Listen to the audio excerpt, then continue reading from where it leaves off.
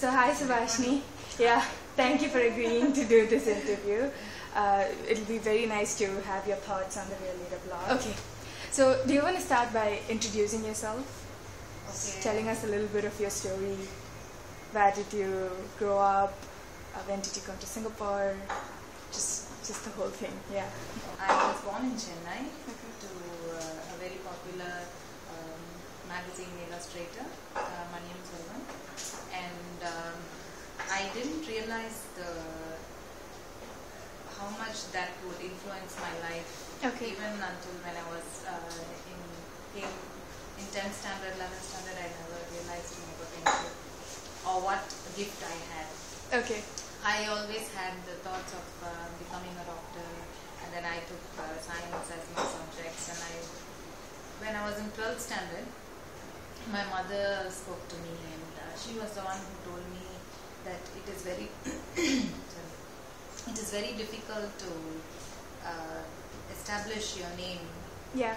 and it takes a lot of effort. And uh, since my grandfather and my father has already done that, it would be easier for me to take it up from there. So Yeah, she yeah. spoke to me to uh, to doing fine arts, Okay. drawing and painting in Stella Maris College.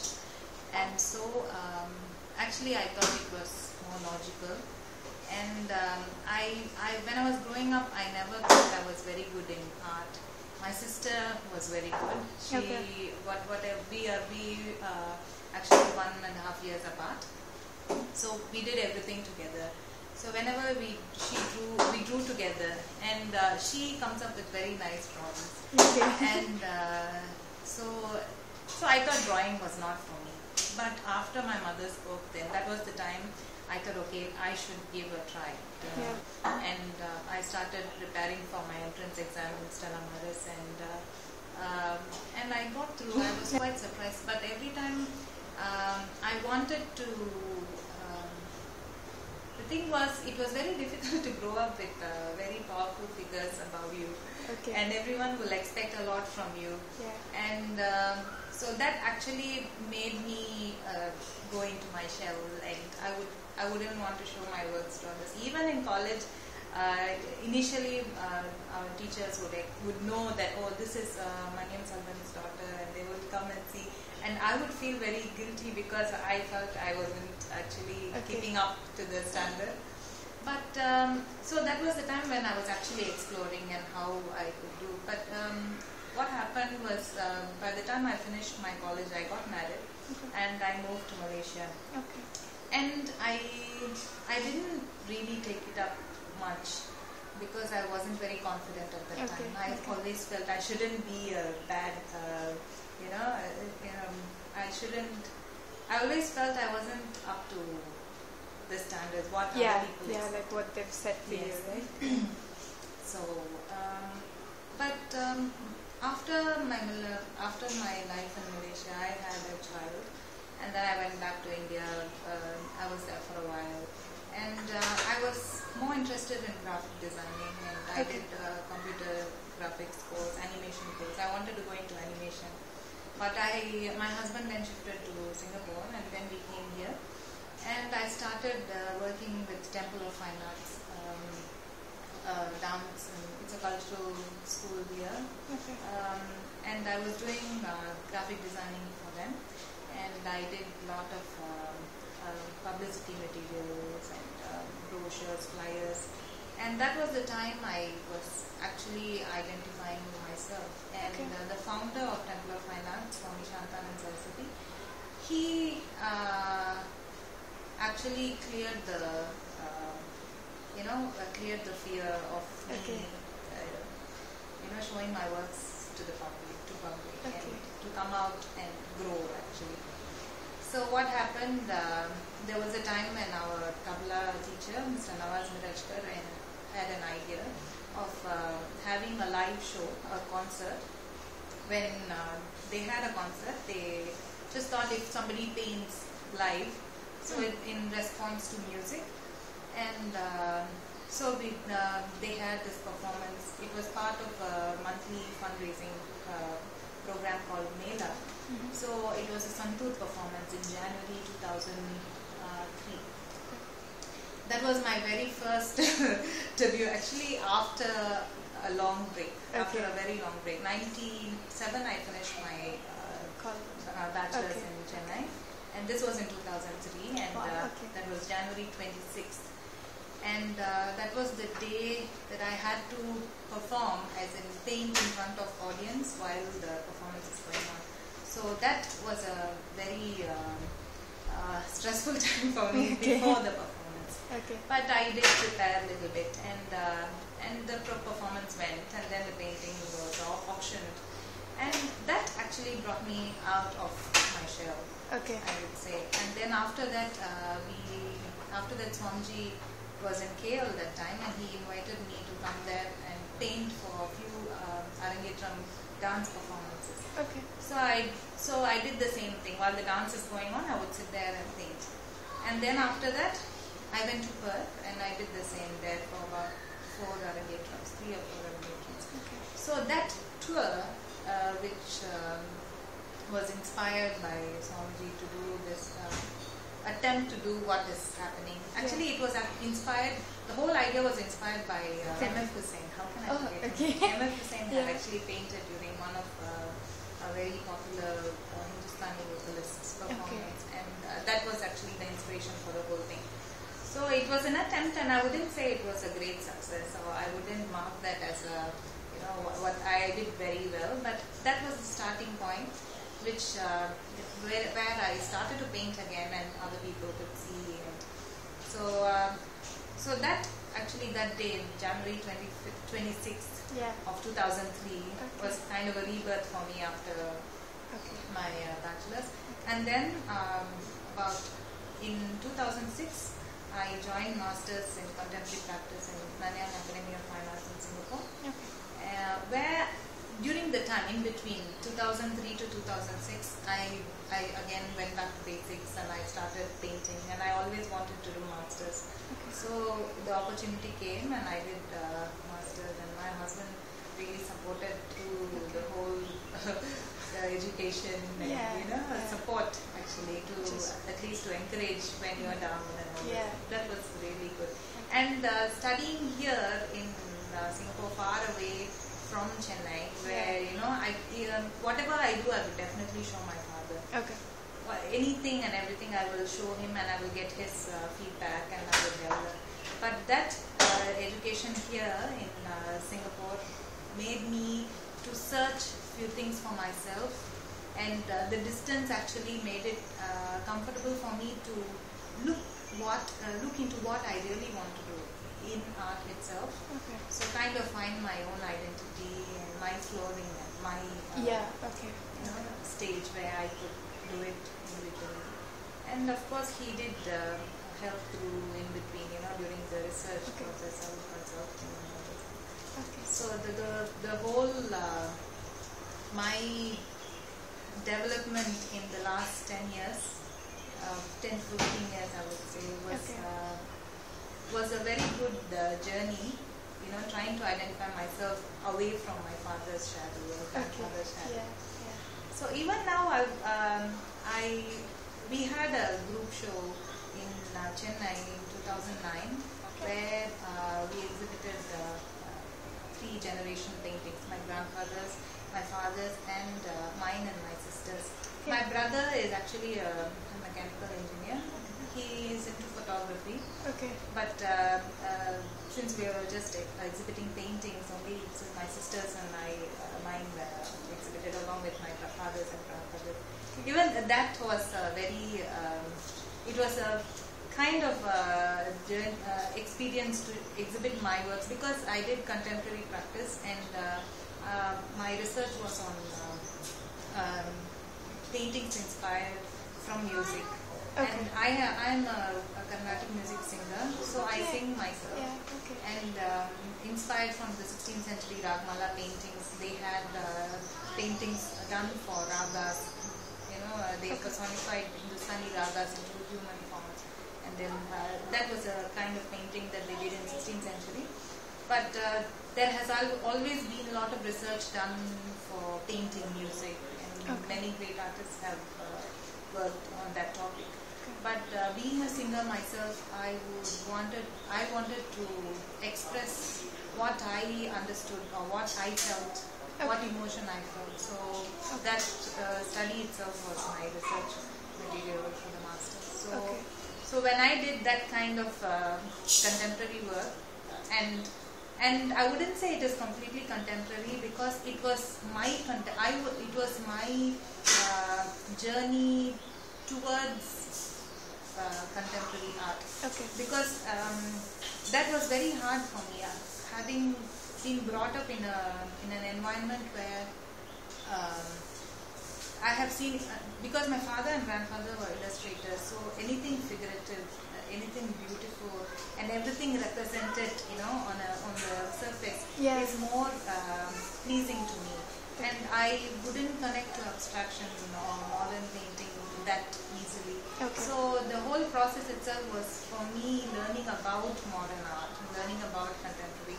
So my works uh, might not actually be uh, completely what uh, regular contemporary artists do. Yeah, yeah. But uh, the journey itself was a lot of struggle to break away from my way of thinking and to become, Right. to understand, what, you know, uh, in contemporary terms and express in contemporary terms. So, I can imagine, you know, getting being used to one form of art and for a very very long time from, from with your parents and your grandparents, and then suddenly coming here and then learning that this this other things are there, right? So how how do you find the art in say Chennai and in Singapore? So what what is your view on the art scenes in both of these places? Um, see, um, it, um, I because I, I'm, I haven't spent much time in Chennai itself lately, but um, when I came, when my experience with uh, an art school here, actually uh, I realized within that 10 years, from 97 to 2006, a lot of changes has happened. Okay. And what I we did in BA uh, Stella uh, I mean BA Fine Arts in Stella was about uh, we did history in fine arts, so we covered from uh, uh, ancient uh, uh, civilizations until uh, we just reached modern art. Yeah, within Yeah. that ten years, Yeah, internet itself made such a difference. Hmm. Internet and um, when I joined NAFA, when I saw diploma students and bachelor students, uh, their works were completely contemporary. They were thinking in terms of what they were, they in terms of expressing what they felt. But when we did, it was we, we learned the basic me, um, art mediums. We did we, how to use watercolors, oil painting, and we studied great masters and we copied great masters. And uh, it was all very um, academic way of uh, academic style of paintings uh, and techniques that we learned. But um, we never went into uh, we never covered much of modern art or contemporary art. So after that, um, in a way, I was also, uh, um, uh, you know, that in between the time before 2003, I was also completely cut off from art. So when I went back to school, I saw students, they were only dealing with modern art and contemporary art. They did cover a little bit of uh, Renaissance and uh, great masters, but they studied more of contemporary art than uh, Okay. than the traditional, uh, the older ancient ones. So, because I found it very difficult uh, because I was in a different era and they are in a different era. Okay. And for me to learn, uh, to uh, learn and understand their way of uh, le- teaching and understanding, and to come to that was uh, quite a challenge. Actually, Okay. I'm still learning even today. Okay. But um, so in that sense, um, I would say uh, it- Singapore art scene is uh, actually I don't know how to comment on that. Mm-hmm. I don't know. I think Do you think people are more open here, more expressive here? Yes. Um, could you do you think we you can make a comparison I like could that? only I could only talk about um, I could only talk about a very small uh, circle. What I remember from Chennai's art. Okay. Yeah. yeah.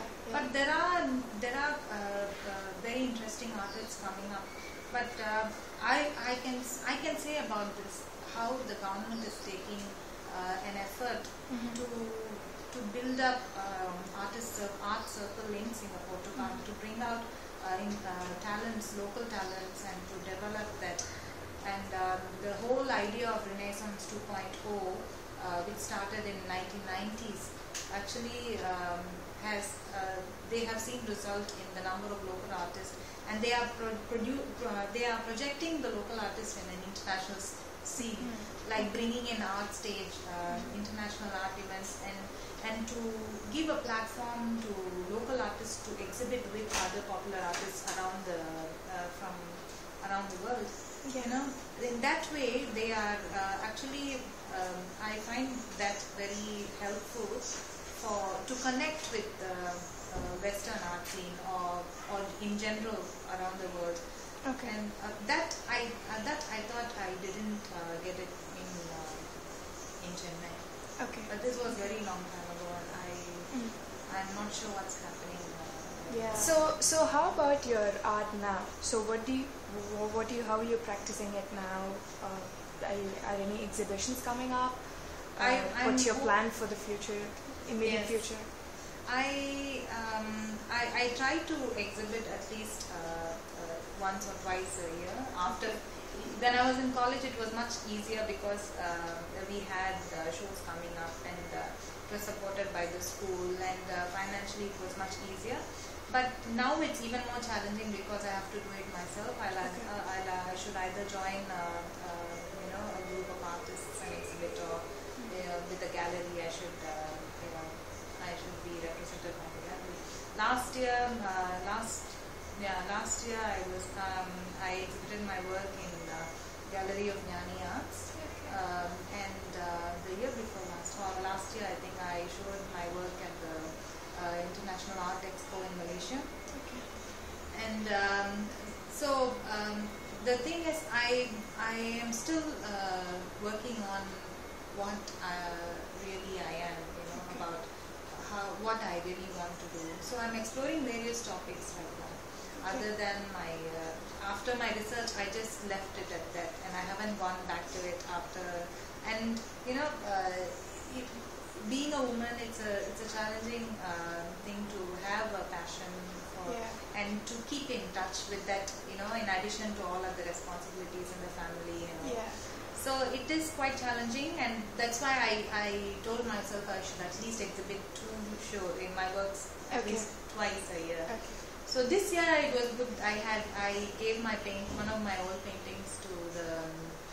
Okay, I gave one of my paintings for this um, Thane Relief Fund by. Uh, there was this special exhibition arranged by Ananda Vikatan in Chennai Okay. at Lalit Kala Academy. So I gave one of my paintings for that. So um, and then um, I am actually working on another show now, but um, so that keeps me going. You know, Okay, I yeah. have something to do and then I do and send Okay. work or you know for the. So that keeps me going. Okay. And uh, until my kids are you know quite independent, you know after that I will get more time Okay. and uh, I'm trying to balance everything in you know in Okay, my okay. life. And, Okay. you know, so, but I, I still keep one of my my how could I say one? I still have one string attached to this. Yeah, And then I yeah. keep doing it. Okay, okay. So, uh, in in all this journey, have there been any um, mentor figures, you know, for you? Uh, I'm There sure been, from your yeah, family. there have been yeah. so many people. Yes, starting from my father, my mother, and uh, my husband. Um, so many things. I I learned, uh, um, and the greatest influence is uh, the Swa- uh, Swamiji from Temple of Fine Arts, and. Um, and there was this um, art director who did um, um, art direction for uh, Temple of Fine Arts performances, uh, Mr. Sashidhar, Dr. Sashidharan, and uh, they they all inspired me to continue to do what I want to do, and Okay. and I, um, then once I started my studies, I had great friends. I had um, uh, a fellow artist who was actually working with me in Temple of Fine Arts. Okay. Um, he, uh, he is a graduate from LaSalle Okay. in Singapore, um, Mithun. And um, my all my lecturers, Susie Lingham, Kit, and um, there's so many people.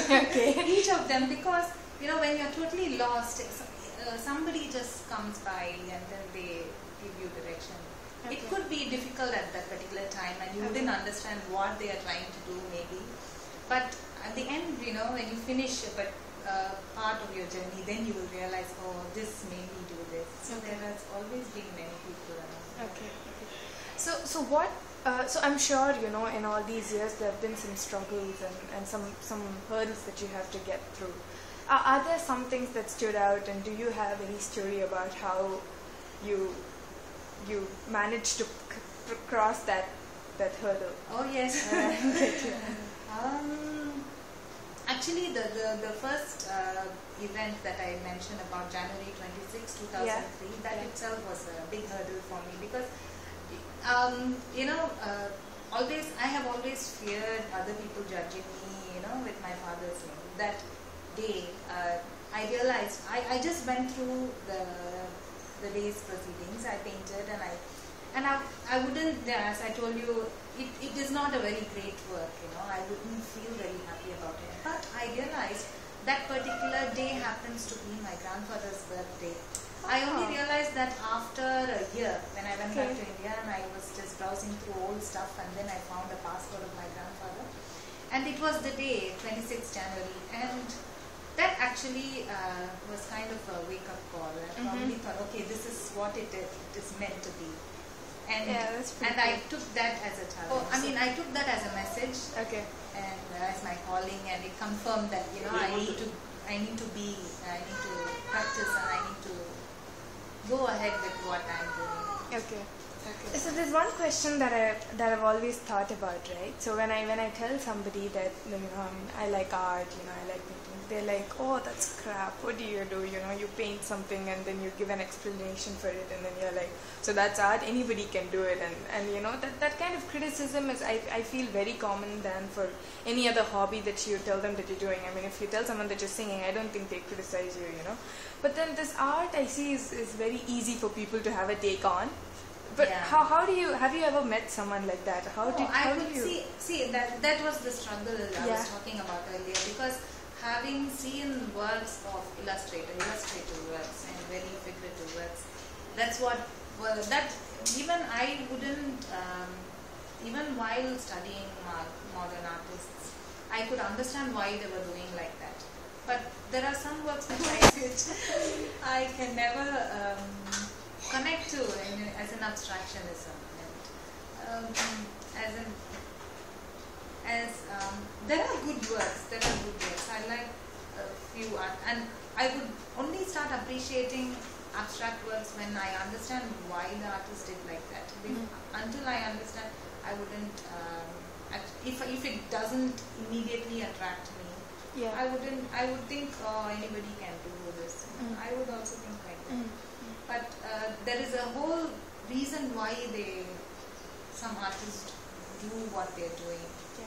So that makes art, uh, that makes art very interesting.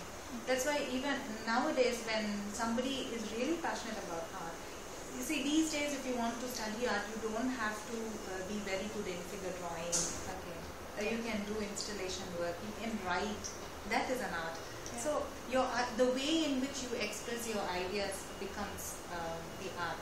So uh, it, I realized that you can never judge uh, anybody's work. It is their own uh, process of expressing what they are going through, and that itself is a. It's it's not the end of the journey. It's a it's a journey, and they go step by step. Okay. And um, after, actually, I would, after my um study here, um, I realized that, I realized that whatever anybody, it's very, it is not right for anyone to comment about other people's work that anybody can do. It is only, it is like a fingerprint, you know. It Mm. is, it is yours, and that is what that makes it very special. Okay. I have, I have one final question. So for all the, the people who are reading this and who are seeing this interview, so what, what kind of message do you have? So for all the people who want to lead their lives, who want to be passionate about what they're doing, be it art, be it just living life. I would say that uh, if you're really interested in it, you shouldn't worry about what other people say. You should be true to yourself and you should gain the strength. And it took me a very long time to realize that. And uh, uh, I know it is very hard because I've, I've been through that. So if you're really passionate about it, you should just be at it and continue to be at it at whatever cost. Mm. You know, even even a minimum of 10 minutes you want to spend with it, spend every day, and that will give you uh, the best result. Yeah. And when you feel that reward, you know, in any way, in any, the smallest way possible, that will really make you very happy. And in fact, in this, I, I'd say in, uh, in in the everyday life, so it's so stressful. Even if you're doing another job or something, if you have your passion right next to you, it will keep you going. Okay. I, I I realized that because I have I have this friend who is actually working in a, a shipping business, Okay. but he's so passionate about uh, uh, sculptures, uh, temple sculptures, and he runs a blog. His name is uh, Mr. Vijay Kumar. He runs a blog called Poetry in Stone. He inspired me so much because even though he has a job, his passion keeps him going, and I'm so amazed with the the the with the vigorous. Uh, with the vigor that he is actually keeping up the log and writing Yeah. about it. And he, he inspires so many people around the world. Okay. And he talks about sculptures. That that is an example of what passion can do. Okay. So Yeah. I'll, I'll Thank you Nia. That, I think that was like the best message that we got from this interview. Thank you so much for this interview. thank you.